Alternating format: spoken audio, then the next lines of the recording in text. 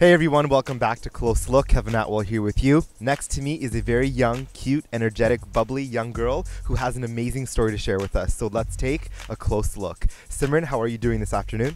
Good, thank you. Wonderful. So tell us a little bit about how old you are, where you went to school, and what you study. Um, I'm 11 years old. I go to school in Jessie, at Jessie Lee Elementary in South Surrey. Um, my favorite subject is science, I guess. Science, and what do you hope to be when you're older? um, I'd like to be a pe- uh, children's pediatrician. Okay. Wonderful. And why uh, that specific career? Um, because when I was six years old, I was diagnosed with leukemia, which is a form of cancer that uh, where the blood, white blood cells uh, destroy the red blood cells. So I was diagnosed with that type of cancer, and so when I grow up, I want to end up helping kids like everyone at Children's Hospital. Wow, that's that's unreal. That at such a young age, you were diagnosed with leukemia. That that's a life changing event. Yeah.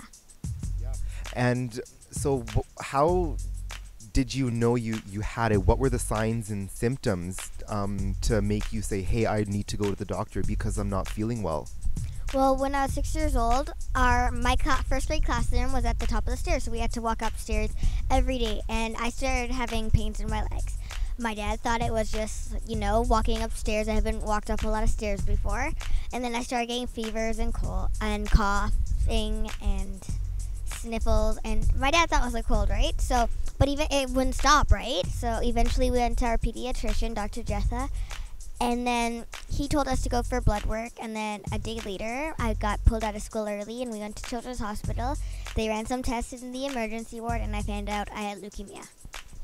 Wow, so from the beginning when you know your legs were hurting and you started coughing and had um, fevers and whatnot and i'm guessing sweats how long from you experiencing those things did you end up in the emergency room? Like how long did they go for until it's like i really need to go to the doctor Um, it was like 10 days, and I wasn't getting better, so my mom took me to the doctors, and then he told us to go for blood work, so we went straight from the, his office to BC Children's Hospital.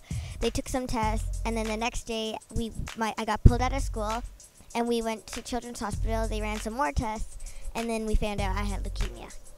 so what course of treatment did your doctor um, provide for you during your treatment Well, there was a lot of chemotherapy, so like there were a lot of needles injecting medicine into me, and there was lumbar punctures, and they, we also got some medicine that we had to take that I had to take orally, and that was like once every day, and some of it was really it tasted really bad and it made me all moody and everything, and. So it was really, it was, it wasn't the best, but it was helping me get better, right? Even though I didn't like it.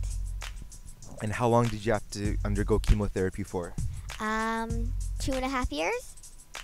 and did you lose your hair Yeah, I did. I was. It started to fall out, and then we decided to first cut it, and then I didn't want to keep it cut, so I shaved it. And we, and at the time, my hair was up to here, so we cut it and donated it, and we cut it short, and then we shaved my head. Yeah. Wow and um, how did that make you feel Um, at first I felt really weird, and I was like, oh, I'd look really funny. And then it was, it was okay. I got used to it because it was pretty cool, and everyone's like, wow, you have your head shaved, and it was like, it was really funny. Yeah. And so, did you have a good support network around you, friends and family? Yeah, I had a lot of friends were coming over and saying hi, and and the family was really nice. And I had I went over to my aunts, and we were always at our aunts or our grandmas. Uh, who's your best friend? Um, a girl named Olivia Lowen. I met her. I didn't I didn't meet her till recently, but she was at there's this camp called Camp Good Times that helps for kids with cancer. So I met her there, and she's my best friend for sure. Adorable. And have you at, at all been a part of um, community events with respect to cancer, whether it's participating in fundraisers for the BC Cancer Agency and whatnot? Yeah. What kinds of events have you been a part of? Um, I've been part of AWAS, the World of Smiles, and that's in May. This that's coming up, so I'm doing that again. And then in June there's Child Run, so we're doing that again with Miracle Weekend. And then there's like Balding for Dollars, which is coming up in May, and there's a whole bunch of fundraisers. Oh, that's super exciting. And um, I've been made aware that you had made a wish to the Make a Wish Foundation. I'm excited to hear about how you heard of this foundation called Make a Wish. How did you hear about it? Um, when I was sick, sick, we had um, one of our relatives was in the agency and she worked there, so she told us about it, and so it sounded like lots of fun, and I like, oh my gosh, I want to do this. Very cool. And so, what was your wish? Um, my wish was to go to Disney World and go on a Disney cruise. Wow, and did that wish happen? Yes, What were the highlights of the trip, and what was like the best part? Did you get to meet Mickey Mouse? yes. My best, my, my, I have two favorite parts, one from the cruise and one from Disney World.